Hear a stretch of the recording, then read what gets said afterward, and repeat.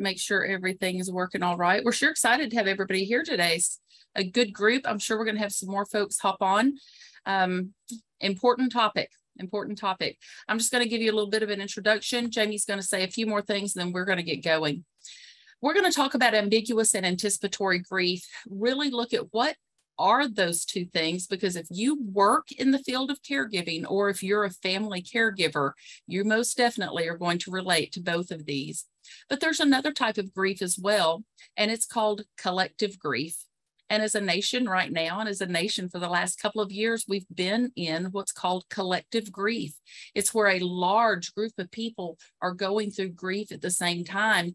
Many times we don't even realize that's what it is. We've all been going through grief because we've been going through loss. We've been going through the loss of our normal. Our normal was taken away and we grieve that and people grieve it in different ways we've seen it over the last couple of years but we're going to do this as it relates more to dementia but i did want to just kind of throw that out there as well that we've all been in the state of collective loss collective grief add to that being a caregiver or care partner of somebody who has dementia so grieving the loss of what used to be and realizing that some of it is never coming back is going to be part of what we talk about.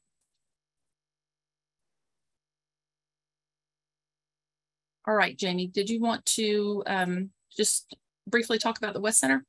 Yes. Um, so some of you may not know the James L. West Center. We are a non-for-profit organization here in Fort Worth, and we serve persons impacted by dementia. And we do that through a variety of services. Um, one of those is your education that we are doing today. And this is um, uh, part of our charitable gift back to the community, our education we do for families and professionals. We also have our residential care. So we have a community here close to downtown Fort Worth where we serve um, persons that need more long-term care in our building. And then we, and we can do respite stay as well. And we also have our day program, our senior day program. Um, we're um, excited to announce that we are going to be opening a separate campus for our day program. We'll be able to serve more participants, but they can come during the day, um, get the care and the activities and the social interaction that's going to um, be great for their whole person well-being, and then get to stay at home longer. And please uh, call us for any um, any questions you may have education wise. But if you're in the area or you just want to say, hey, would like to know what James looks like, or I want to learn more about that day program, please feel free to reach out to us. We're here anytime to answer those questions as well. Thank you. Thanks, Jamie. All right, let's get going. Here's my information. Uh, many of you already uh, know me because you are part of our education programs or our support groups. You heard Jamie mention earlier, we're getting ready to do our Dealing with Dementia course with the Rosalynn Carter Institute. Today is Rosalynn Carter's 95th birthday. For those of you who do not know that, still active, still working. She's not going into her office at Georgia Southwest, but she is most definitely still overseeing the Rosalynn Carter Institute for Caregiving in um, Georgia. So we are trained, uh, Jamie and I are master trainers. Uh, we are trained through the Rosalynn Carter Institute, and it's one of our favorite programs to get to do. So uh, hope that you can be part of that. That one's on August 29th. Here's our objectives for today. Those of you that are getting your CEUs, know you've got to have your objectives, but let's jump right in. You are getting copies of these slides again. And let's talk about that word grief. So many times when we hear the word grief, the first thing that most people think of is they will associate that with death. Grief is associated with loss. Grief is the loss, and it's the loss of something or someone, and it's very natural for us. As a matter of fact, as a licensed professional counselor and as a grief therapist, I would be much more worried about somebody who wasn't going through and having the um, emotion that are connected to loss that many of you as family members and even as professional caregivers are having. So th- that question I get asked so many times is what I'm doing normal is what I'm feeling normal Of course it is. It's normal for you. And everybody's grief can look very, very different. So again, grief is not always just with death, it's with loss. And so as caregivers, uh, people who have dementia, we're actually going through grief throughout the entire process. And it starts with the very first time that we even thought about or considered this might be dementia. If you know anything about grief, if you've studied grief at all, if you go all the way back to the Elisabeth Kubler-Ross model, and she talks about denial, that first time that we thought, could it be dementia? No, no, no, no, no, no, no. It can't be. They must just be getting older. I bet they need new hearing aids. I'm betting they need some new glasses. We had all these other reasons for what we hoped it would be. But we grieve lots of things throughout our life. We grieve, uh, just like I just mentioned, collective grief that we've all been a part of. We're grieving the loss of our normal right now. We are still in this. Some of you have heard me say, we're not to new normal yet. This is still messy middle. We're on the other side of messy middle, but we're not quite to new normal. I don't believe we are. We can grieve loss of relationships, loss of dreams, jobs, houses. We grieve the loss of many things. Now, grief is different from sadness because sadness is that actual feeling, and sadness is that feeling of sorrow or even being unhappy. But grief, grief's that ache, that dull ache and it can show up and take over when we least expect it. And we'll talk about some examples this morning. Walking through the grocery store, and here come the tears. Where did that come from? Watching something on TV, Hallmark commercials. And all of a sudden, that grief comes like a wave and knocks us down grief is really easy to understand if you think of it like kind of like the ocean. There's times that we're standing right there in that water and it is so peaceful and clear that it looks like glass and everything is great and fine and we're okay. And there's times that there's just some little ripples and waves and we got to plant our feet, but we're we're standing. And there's times that it knocks us down and we're doing everything that we can to keep our nose above water. It's all grief. Tears oftentimes take the place of words with grief, and tears are a act of love, and tears can be very, very healing. We live in a um, society, though, that we tend to always want to hide those tears instead of just letting them come sometimes. And there's many times we just need to let those tears come. So let's look at the word loss and what are, again, some things that we lose. A divorce is a loss. We can lose a home, a business, a pet. That is a very real loss when we lose our pets. Bankruptcy, bankruptcy, repossessions, and the loss of our normal. There's actually an exercise that you can do, and I've got a support group that meets on the second Saturday of every month. And early in that group last year, we went through and we did this grief exercise. And it's where I ask everybody to just go back, take some time, sit with your loss and start to list all of the different losses you've had throughout your life. And I had some people end up making spreadsheets on this, including myself because we start thinking back to all the many different things that we've lost. Parents divorced. We moved when I was eight. My grandfather passed when I was seven. You know, and we start listing the losses, and then we make another column, and it's how did I cope? Did I talk about it? Was I told not to talk about it?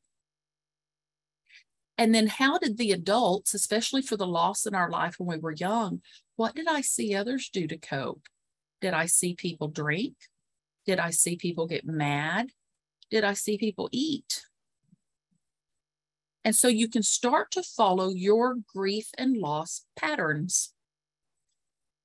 And sometimes you can really connect some dots and go, that was a learned pattern. It was a learned coping skill that I either either then overcome as an adult, or maybe I haven't. And I need to learn some better coping skills. But it's a great exercise to do. It can be a little bit hard. And most people will kind of leave it out on the desk for a while because you'll keep coming back to it because you'll continue to remember my best friend moved away when I was 14 and the loss that I went through by losing my friend. I encourage you to do that. And it's it's a great way to look at how you have been able to get through loss throughout your life. And then we have that word bereavement. Bereavement is the actual action or the condition of loss, and it's that period of mourning. But please hear this there is no period, there is no time limit to mourning. The only time there's going to be when we get concerned about time is when someone is uh, in complicated grief. And we're going to talk about what is complicated grief in just a little bit. But the bereavement time is that time where we're going through that adjustment period of living with the loss. It's the time where we are figuring out and we're realizing, okay, that loss was real and that loss was permanent. That's the bereavement time. It's the process of working through, okay, that really happened. And I'm still here. And I've got to find a way to live with this loss. It's a normal process after loss, and it has a name. It's called bereavement. And I thought this was so powerful. There's nothing more difficult than grieving the loss of a loved one who is still alive. And that's what we're doing. That's what we're doing when we have a loved one who has dementia. We're losing them a little bit at a time. I want you to take a look at this picture. And what was the first thing that you saw? There's one of two choices there. Some of you are going, well, it's a rabbit. And other people are saying, no, it's a duck. And if you look at it, it's both. It's a rabbit and it's a duck. So, what is ambiguous grief? Ambiguity is just being able to be open to more than one interpretation or having a double meaning, just like our picture there. But ambiguous grief, being able to put a name on this, it is a loss without finality, which leaves us disoriented and not understanding the loss or how to move forward through it. Because with ambiguous grief, there's a lot of unanswered questions. And there's a changed relationship. That's one of the keys to ambiguous grief. A relationship changes. Now, it can happen in a couple of different ways. Let me tell you the history of ambiguous grief. They started using this term during the Vietnam War. During the Vietnam War, we had an awful lot of our soldiers who were listed as MIA, missing in action. And we had families that had all this grief, but it was a very different type of grief than if you got the notice that your loved one was killed in action. Because missing in action, they're still alive. Are they alive? Are they dead? Are, are they a prisoner? Are and there wasn't a name for what these families were feeling. And the term ambiguous grief. Is that's where the word comes from. Ambiguous grief. And here are some of the other places where we might have a significant relationship loss, but they're still alive. A divorce, most definitely. That was not planned. Nobody gets married with the plan of getting a divorce. I hope they don't. And we lose that relationship, but that person is still alive. With mental health issues, we will find that as well. With addiction, with desertion, where somebody just walks away and we don't understand why. MIA is on there. Dementia is most definitely on there. And then that last bullet point without a physical death, we can become consumed thinking that life might return to normal. They're going to get clean and sober and come back, and everything's going to be just fine. I bet this isn't dementia. I am, this has to be something else, and they're going to be okay. This was not the plan. None of those things that are listed there was ever the plan.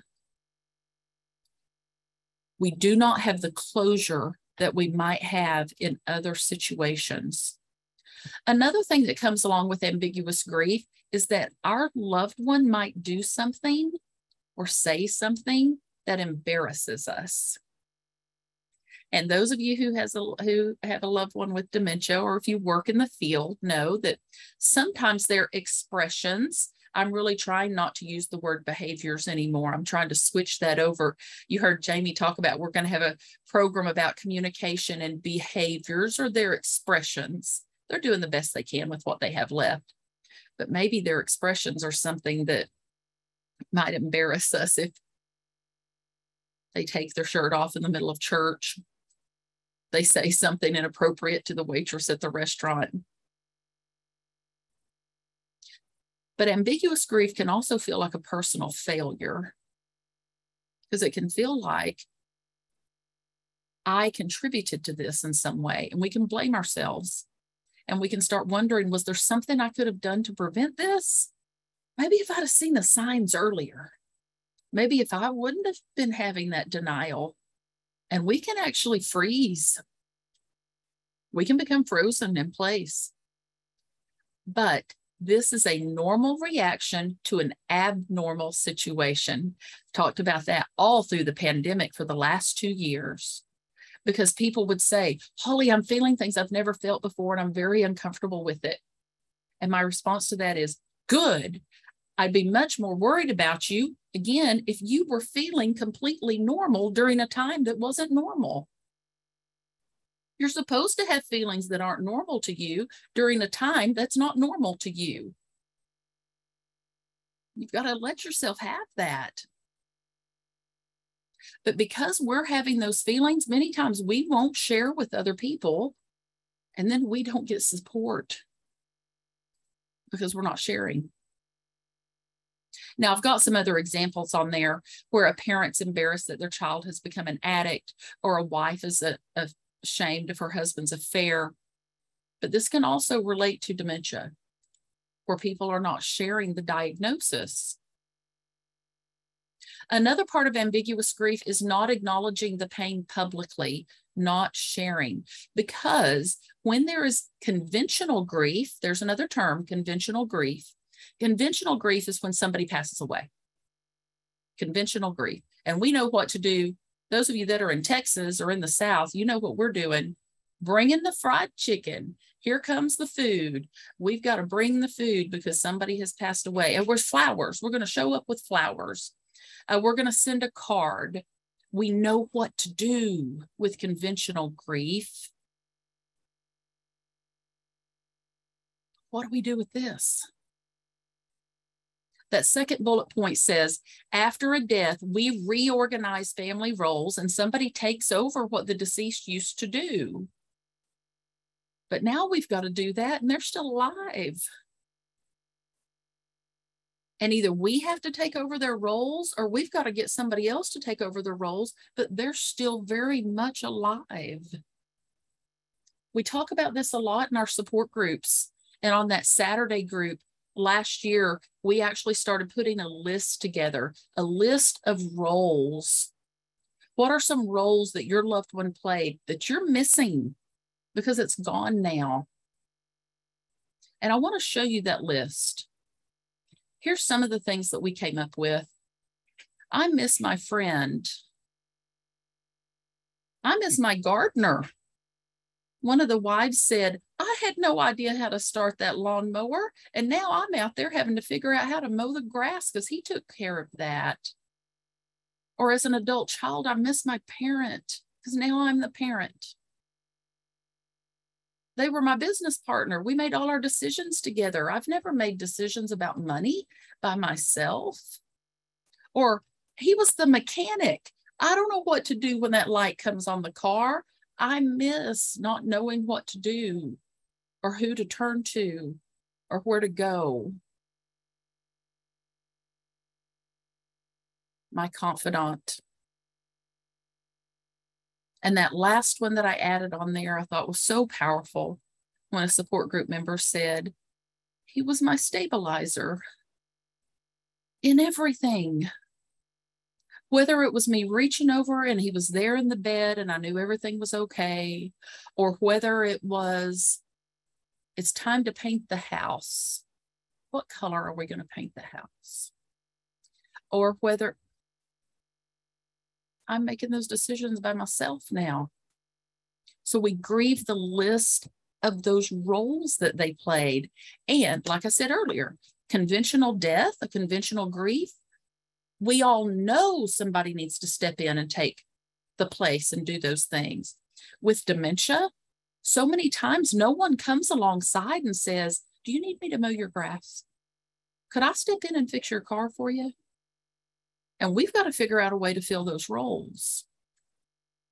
So please, here, it's okay to not be okay while you're going through this. You've got to give yourself permission to go through this grief. Grieving is actually moving forward through feelings. You're moving. If you're grieving, you're moving. You're not stuck. You're moving. Another thing that comes along, that's why I chose this picture, is that feeling of being married but single. I am very much married. My loved one is alive, but I get invitations to things and I'm not going to RSVP for two anymore. Or people stop asking me to come because they don't know what to do or say. And we grieve that too. This is grief. So, what can we do about it?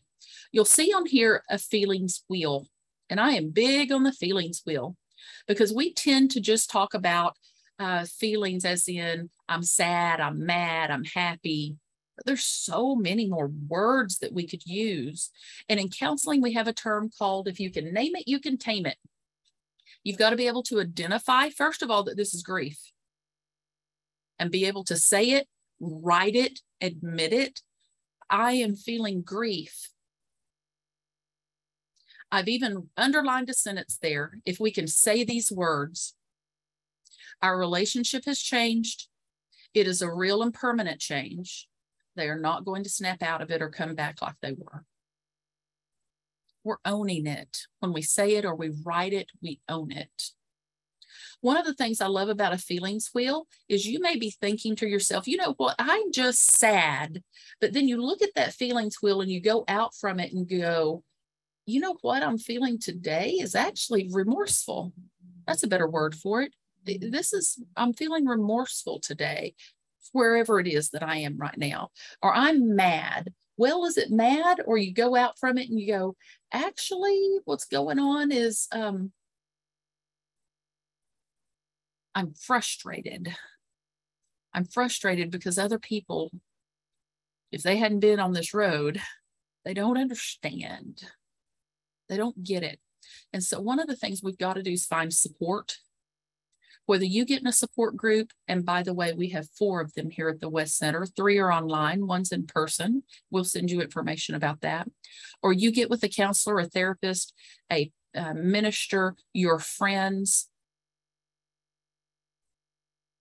If you will talk to somebody who's ever been in a support group, especially a support group specific for families and friends of those that have dementia, you'll find it is not a 12 step program. We don't go around and say, hello, my name is, and I'm A. But boy, is it a safe place to come and say, I'm having some feelings and thoughts that are a little bit scary to me. And I wonder if anybody else has ever felt this way. And you say it and you, you see all these heads nodding. There's also a website called grieving.com. I've put it on there. That is a fantastic website to go to. We've got to take care of ourselves physically so that we don't become a statistic. Caregivers of those with mm-hmm. dementia, 68% of the time, the spouse is going to die before the patient. 64% of the time, the adult child is going to die before their parent. Because we're putting them first and we're not taking our meds right and we're not going to the doctor. Or, as I've had too many times I'm cutting my pills in half because then I only have to go to the doctor every six months instead of every three. What are you cutting in half? My heart medicine, my blood pressure medicine. This isn't just a statistic. I've lived it. I've watched it. I've stood at the funerals of caregivers. I've been the speaker at the funerals of caregivers. It's very, very real. Being able to tap into a positive emotion, this is where you can do even an opposite action. I get up and I'm feeling this way, but I'm going to make myself go take that walk. And if when I get back from the walk, I'm still feeling this way, I'll allow myself to get back in the bed. But research and studies shows us that about 60% of the time, we're not going to feel that way anymore. We're going to go, okay, I'm up. I might as well go ahead. And so we get through another day connecting with a higher power also. And we're going to talk about some research that's been done about having connections to a higher power and those that are taking care of people who have dementia. Another very healthy thing to do is to write a letter of release saying goodbye to the relationship the way that it was. You still have the relationship. You're always going to have the relationship. Even after that person has passed away, that love doesn't go away but the relationship has changed. And if you can actually write a letter to the relationship the way it was, there's a practice and therapy called the empty chair where you talk to an empty chair and you talk to the person, or you can actually talk to a relationship, talk to your marriage, talk to your um, the uh, parent child relationship. I hate that our roles have reversed. And say it to that chair. I'm a licensed therapist and I'm giving you permission to talk out loud and talk to yourself. It's very, very healthy for you to do. Now, what are you going to do with that letter? Some people keep them, some people bury them, some people burn them. Some people, if the person has passed away, will take them out to the cemetery and bury it out at the cemetery. Some people put them through the shredder. Some folks put them on a balloon and let them sail away. Do whatever feels right to you. And then building your resilience. And part of that is through uh, gratitude, keeping a gratitude list. If you can think of three things that you did well during the day, especially if you do it at night, you know what you may have done well today? I brushed my teeth. That's it. That's as far as I got. I brushed my teeth today. I did a good job brushing my teeth. And that may be have to be one of your things one day, but it's all right. You did it. I took my breath before I reacted to make sure that I responded. We've been talking about recently in the support group. Sometimes the difference in a reaction and a response is one breath. Taking that breath. Ambiguous grief takes time. There is no timeline, but eventually that you will emotionally distance yourself from unanswered questions. And the further you go on this journey, sometimes those questions that you thought were so important in the beginning, they're not important anymore. And I recognize lots of faces and names on here. So I know your stories and I know that you're at the place where you're going, yeah, that stuff that was important in the beginning, that's just not near as important as we travel on down the road of dementia. The only way to move forward is to feel those hard feelings and replace the need to understand with a commitment to move forward, going through it rather than trying to go around it. Another way to move forward is to celebrate what remains and be open to a new type of relationship. Instead of focusing what's gone or what they can't do anymore, focus on what's left. So many times you may even have a silver lining where you find that you or that your loved one can do things I didn't know they could draw. They never liked to draw before. Got a a um, lady on our support group, she also has been part of that original group, just like Judy has. Just like Kathy's been part of it. Several of you that are on here. Her husband got to where he would draw the most beautiful and he could paint. He'd never done it before, but that right side of his brain was still intact. And so he was putting his emotions and his feelings out through art. And they discovered something together at the end of his life that they'd never known before. Focus on what remains. Understanding the illness isn't the person. In the big scheme of things, it's this much of their life. And it does not define them. And then you find meaning in the experience. You're developing a skill set you never wanted. None of us wanted this skill set. We didn't want to know how to do this, but you got it. What are you going to do with it? When the person changes and as they change, our relationship changes as well, but it doesn't go away. It's not going to be easy. There's nothing about this that's going to be easy. But please remember that the person they are now does not take away from the person that they were. And it doesn't change the love that you have for them. Cherish those positive memories, write them down if you can, because you're going to go back to them at some point. And you may end up doing something phenomenal, like our friend Kathy Goodwin, who's on the call with us right now, who's written a book about her experience, wrote an entire book about it by looking back at journals and notes that she kept. Let's look at anticipatory grief. Anticipatory grief is exactly that. Think about what that means anticipatory. It's grieving that occurs prior to the actual loss. There's actually some benefits to anticipatory grief. We're going to look at those. It gives us time to have some closure. That's one of the things with dementia. We do have some time to maybe work through some issues that we may have had it's very common also for the person who has a disease to go through anticipatory grief as well and grieve their own death.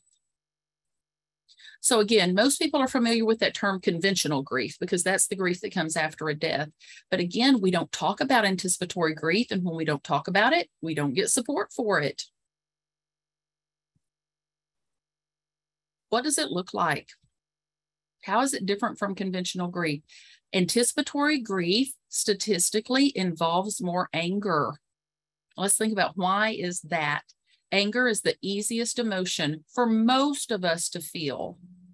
Okay, think about why. Why is that? Let's go back to when we were little children, little, little children. We've all heard of the terrible twos. With my daughter, it wasn't the terrible twos, it was the horrible threes. Mercy she wasn't in control of her emotions yet. She didn't have those skills. And so anger can come and they'll have tantrums. And some adults never really get control of their emotions. Or when we're under a tremendous amount of stress, we revert back to that. And the louder I get and the broader I get, and I might even lift my fist up, now I'm in control. Now you're listening to me. The very first support group that we did online right after the shutdown in March of 2020, the first person who came on was very, very angry, and it was an adult daughter, and she was mad at the world and me and our center and anybody and everybody that she could think of. And I let her be angry and I let her say the things she was saying until those hard words turned into tears and we got down to it. And the next sentences were, What if by the time I get back in there, my dad doesn't know who I am? What if he dies during this? And I never, and that anger turned to fear. And the majority of the time, at the root of anger is fear. We're afraid of something.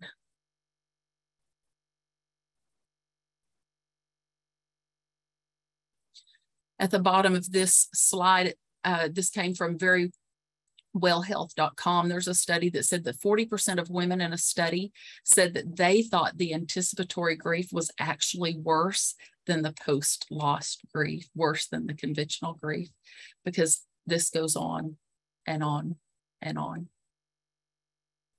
So with anticipatory grief, we have physical, behavioral, psychological, social, and spiritual symptoms. We're going to look at some of those symptoms real quick.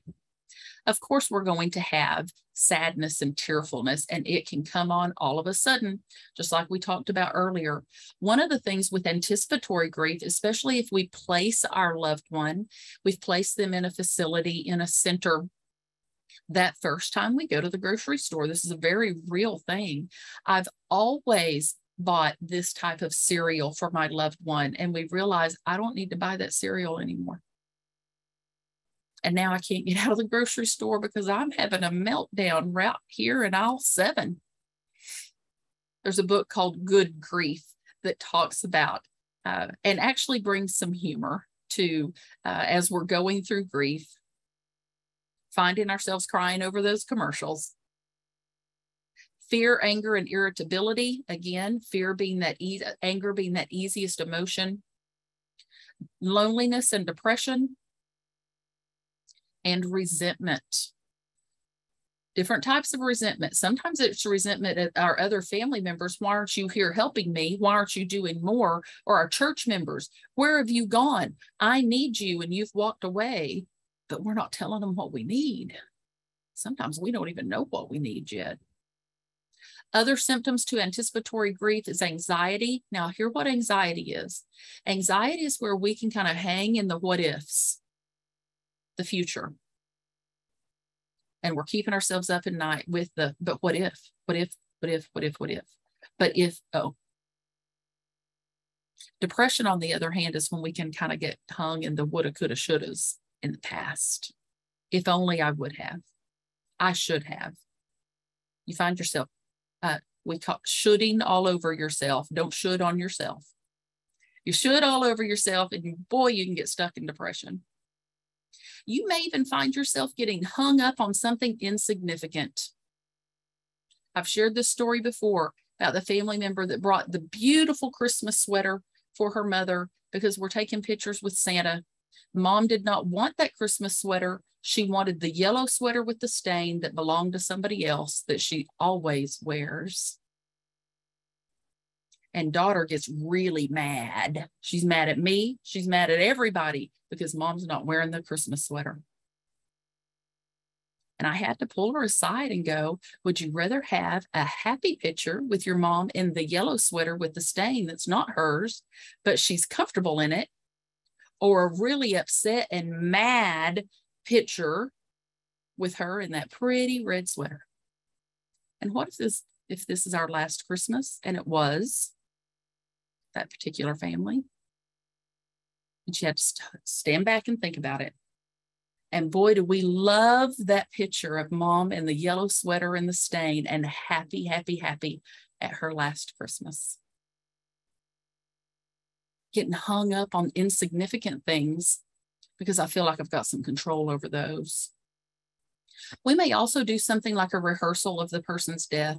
We may visualize or even hear the phone call if they're placed when we get that call, there's been a change in condition.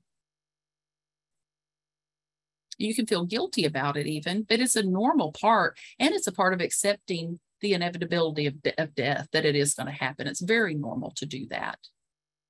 You may have physical problems like difficulty sleeping. You may have memory issues yourself. Dementia is not contagious. You know that. Dementia is not contagious, but stress and depression can cause us to have memory issues the fear of the loss about what is my future going to look like. But there's also benefits to anticipatory grief.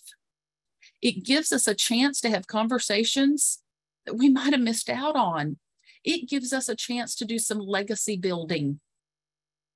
It gives us time to forgive, and it gives us time to have quality time and make connections and learn to meet them where they are in the disease and stop trying to bring them to our world, go to theirs.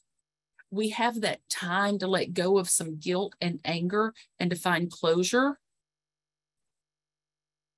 We might have time to create a bucket list and to take some trips. Early on, we may be able to record some of their stories that at some point we're not going to hear anymore.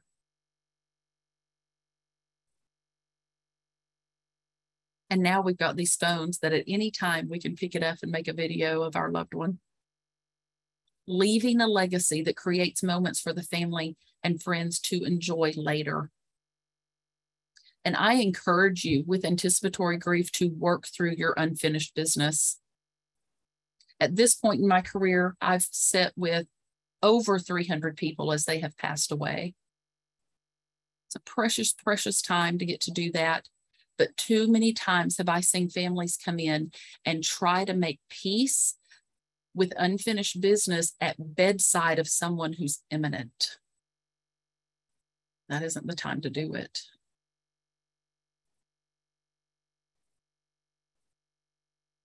We're going to have uh, guilt and regrets. We don't do it ahead of time. And you can do it well into the disease. You may have to sit with your mom or dad or husband or wife and ask for forgiveness. Or you know what else you might have to do? You might have to forgive them and get to the point where we say, I know you did the best you could. We understand the circumstances. Wow, is it powerful to be able to do that before we're sitting bedside with them? Anticipatory grief in the patient. A person with dementia sometimes will do things. Now, everybody who's dying has something called a life review, but depending on what kind of dementia they have or where they are in the disease when they pass, I've seen some interesting things happen. One of them was I had a woman with vascular dementia actually asked me about three weeks before she died. She came in my office and said, Do you have any regrets? Think about what she was saying. She wasn't asking me about mine. I responded back to her, I think we all do. Tell me about yours. She was doing a life review and she shared with me some things that her kids had not even heard. But I was safe. I didn't have the emotional attachment that the kids had. But being able to say, we're going to miss each other, aren't we? and hold our loved one and use those words. I'm going to miss you so much, and I know you'll miss me too. That second bullet point is powerful. We, as caregivers, are losing the one person in our life, but the person who's passing is losing all of their relationships at the same time. They're not just losing one, they're losing all of their relationships at the same time.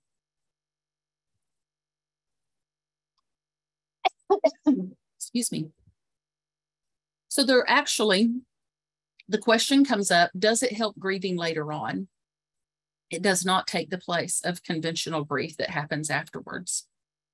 I had a precious family one time whose loved one had had dementia for 23 years. Now that's very, very unusual. And they would ask many times, they'd say those hard words, How long is this going to go on? Oh my goodness, I don't understand why. And as I sat with them, as he took those last few breaths, as he took his last breath, his wife turned to me and went, uh, What do I do now? What what now? I, I come every day at four. What am I going to do tomorrow? And she almost went into a panic attack. And she'd been preparing for this for a long time. And then it happened. So it's very different. Anticipatory grief is different from that conventional grief. I was with someone last year, I was in the room with her as her husband died, and she was holding him and I was holding her. And she turned around and looked at me and said, I thought I was ready. I thought I was ready. You can't ever be ready for that moment when they take that last breath. Now, a year out, she's able to say, I was so much more ready than I realized I was. I knew so much more because I'd educated myself, I'd been in the support groups. But none of us can pick the day because that's very common for families to say, I wasn't ready. This isn't a good day. And I've even held my calendar up before and said, Can you find a better one? Um, honestly, is there a better day that this happened? There's not. So, a few ways to cope with anticipatory grief. One of the things, and again, I encourage you if you don't write or you have never been one to write, to journal. I had a few men in the support group early on who uh, just really they weren't interested in it at all. And one in particular has been one to journal all the time. And he said something in the last year, his wife has passed away. And he said, I don't dream about her sick anymore. When I dream about her, she's well. When I dream about her, she's the woman that she always was. And for the longest time, all of his dreams, she was sick. But he'd been writing a lot, writing before bedtime. Spending, spending meaningful time with your loved ones, going through photos, telling stories, laughing, reminiscing, and crying together is okay too. Many people during anticipatory grief will try to do something about the loss. So they may try, I'm going to get another opinion. We're going to do non traditional methods of medicine and we're going to look for outside assistance because we can get very, very desperate and we're going to try anything and everything. Another thing we can do is when we're trying to take control of our own reactions, we turn to sources like religion, spiritual consolation, and we make efforts to heal those estrangements, leaving legacies, selling estates, planning the funeral, doing life reviews, and being able to say goodbye. This is where we come in and we can nurture our spirituality, and it's different for everybody. For some people, that's going to be organized religion. For others, it may be prayer, meditation, being in nature, listening to meaningful music. But there is research that shows that people who are dying experience a better quality of life in the last days if they have an active spiritual life. And as someone who said, with all those people passing, I can tell you, I know that to be true because I have seen it over and over again. Please, again, get yourself into counseling or a support group. Talk to a minister, talk to somebody that you trust. Uh, seek help from a mental health professional or from a grief therapist. Most churches have a pastoral counselor on staff that you can get with, or you can look specifically for somebody who specializes in grief. Now, here's that word complicated grief that I mentioned. Complicated grief happens when the usual responses to the death of a loved one do not fade over time and impair or prevent one from leading a normal life six months after the event. So if six months after someone has passed away, a person still cannot get up out of bed, cannot go to work, cannot get in the shower, then we've got something called complicated grief. And this is where we do we need an intervention here. We need to step in and help somebody with this but that's the only time there's a timeline. Now, does that mean in six months I'm supposed to? No, not at all. That's why I put it in bold. If it is impairing or preventing us from leading a normal life, if we're still getting up, we're going to work, but of course I'm still grieving. We might even have a day that I can't get out of bed, but we're talking about when it's every day and we're six months out giving our loved ones permission to die and practicing forgiveness. We've talked about that. And I put in bold there resentment is a poison. You prepare for another, but you drink yourself. Got to be able to let go of resentment and hurt. The reality of dementia, they are both gone, but they are still here. You're taking care of them, you're taking care of yourself. You wish it was over, but you want them to keep living member of the support group recently said something that was so profound. She and her husband loved to um, bicycle, and they had two bicycles, and she knew he wasn't coming back home. So she took the two bicycles and she traded them in on a new one. And she said, I had to let go to start again. So I took our two bikes I traded it in on a new one for me, but she took something off of his old bicycle and put it on her new bicycle. And she said, Now I carry him with me everywhere I go. Wow. Wow. That's healthy, healthy grieving. Now, things we've talked about ambiguous and anticipatory grief can be very difficult and exhausting, but we help ease the pain by acknowledging it in ourselves and in others. This is normal feelings that we're having, even though it can feel very abnormal. This isn't a normal time. Do not underestimate how you might be affected by this and give yourself permission to grieve at your own pace. Do not ever let anybody tell you when you should or shouldn't uh, be on. It's been six months ago. What do you? Th- yes, it has. Thanks for reminding me of that time. You know, don't, don't you don't have to be sarcastic but you're never going to forget your sacred time you spent with someone as they transition from this life to the next. And it is a blessing to get to go on the journey. It is. And we get to the point where we look back and we don't say, I had to do it. We say, I was able to do it. I got to do it. I encourage you to embrace grief and not to run from it. It'll help you and it'll help others as well as you go through it. And I do ask of you to become better and not bitter. We are going to stop right here and I'm going to ask Judy Locke to speak for just a moment. I know we're right at time, so I'm going to give her about five minutes to just talk about as a, um, Judy, you're going to have to unmute yourself. Um, Jamie introduced her earlier. She was a family member um, here. She also, also is a chaplain and she's been a part of our support group since the very, very beginning. But I wanted her to speak about um, personally how anticipatory and ambiguous grief has affected her. And let me turn it over to Judy, if you would please. Thank you, Holly. I appreciate the opportunity to speak to all of you. And I hope that by touching into my experience, that I can give you some encouragement and hope. Um, I came to um, the role of being a care partner, caregiver, um, out of a family that was very, very private. So telling a story publicly about a member or members of my family was really not anything that was done. Um, and so um, I came to caregiving with that family message.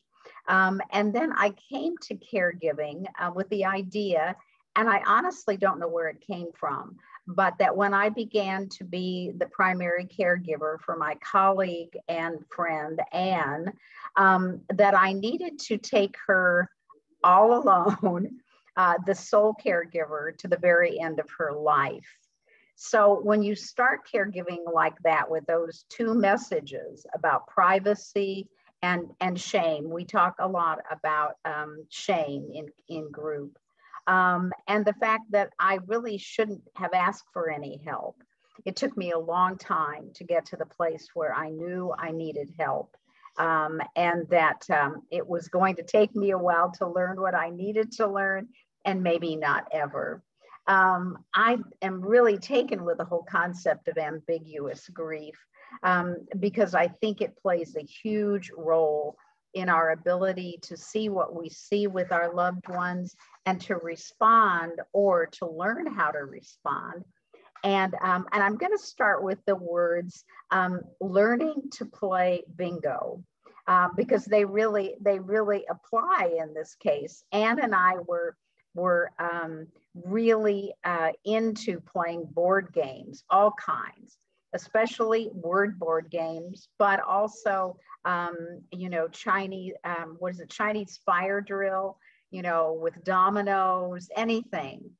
And um, so when she came to, to a placement at James L. West, she still could speak. Um, and she was so excited because they had bingo and that's one of her favorite games. And so she came to me and she said, "You have to stay tonight, this evening, and they're going to play bingo." And as as we set up the bingo, you know, and, and she got a place to sit and where she could see, what I realized was that she wasn't playing bingo or bingo as I understood it. And initially, I was really distressed because my background is education. So I think that I know how to teach people things and something said to me, you don't need to teach her anything different than what she doesn't know, but how she believes that she knows how to play bingo because she was so full of excitement and delight and participating in a community. And I, it really carries the whole theme of what Holly talks about often, and that is that we don't bring our loved ones who have dementia to us. We go to them and for the weeks that were left when she still had speech and still knew how to play bingo, she played bingo. She participated, you know, deeply in community life. Um, and it didn't have to be the kind of bingo that I was familiar with, but that I was with her. We had a wonderful time with that experience. I think I had a better time than she did because I learned that I had to let go and to learn from her what it meant. Um, I think the same thing is very true with anticipatory grief. And that is while it's important for us to think about how will we handle that eventual loss of that individual or the, the passing of that individual. Um, that we don't want to program either ourselves or our loved one for a particular anticipation of what might happen. Um, I think that it's important to have an opportunity, not at the last minute, but at a time when you can say what you need to say to your loved one. Um, and maybe to repeat that again if there's time, but not to try at the moment of crisis to say what you want to say, to apologize, to express love and gratitude. Um, the other thing is that you need to do whatever you need to do is to help ensure the comfort of your loved one.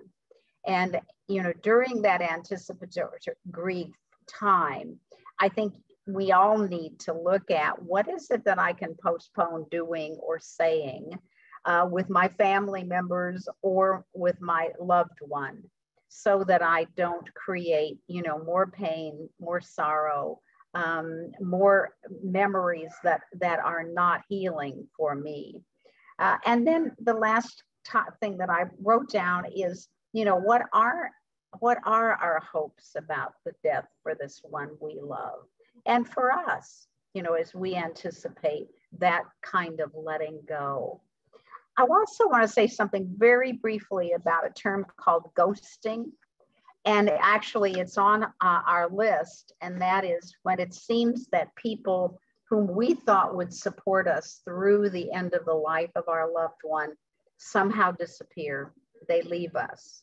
Um, and how to gain some understanding of that. I had two very dear friends whom I absolutely was confident would go with Anne and me through the end of her life, and they they chose not to. And so I had to deal with that loss too. And I think that's very important for us to understand that that can happen. And it doesn't mean that um, we've done something wrong or that our friends have done something wrong. Um, I think that this journey takes courage. I think that it takes um, thought, but I think most of all, it takes the support of others. And that's been a really important part of my journey is to stop being the only person that can be the caregiver and to stop the individual who believed that she had to take her friend alone to the very end of her life. And so um, the, the support the education, um, the counseling, the camaraderie that you can enjoy um, at James L. West, I think will make you stronger, will help you have a sense of community. We often talk among ourselves about having each other as companions on this journey, and it will help you find, you know, a sense of strength and hope that will take you um, where, uh, where God wants you to go. So I appreciate being here today. Thank you very much. Thank you, Judy. That was very powerful what you said. And we hope that everybody really was able to take something that we wanted to try something a little bit different and, you know, have uh, Judy come in and, and just speak to us for these last few minutes. We appreciate everybody being here. Um, hope that you are able to take something from this. Again, you're getting the slides. I think Jamie already put them in the um, chat, but she will mail them to you with a copy of this recording. If you ever have any questions, if you want to talk more about this one-on-one, my email is on um, the slides and then you'll get that as well whenever Jamie sends everything out. We appreciate you being here. Jamie, was there anything you wanted to add? No, just thank you so much, Holly, and thank you, Judy, for sharing your experience. Thank you. We appreciate everybody. Bye-bye. Bye-bye now.